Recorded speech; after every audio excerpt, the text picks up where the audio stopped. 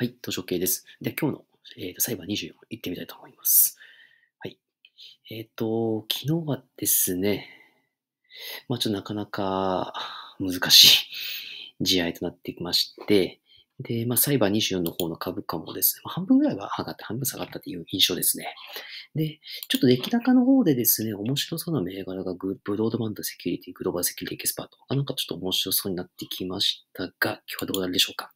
じゃあ今日の大穴、神5なんですけれども、グローバルセキュリティエキスパート、ブロードバンドセキュリティ。で、昨日に引き続きラック。で、昨日に引き続きソリトンシステム。で、最後はバリオセキュア。さあ、今日はどうなりますかね。まあちょっとまだまだ予断許しませんが、頑張っていきましょう。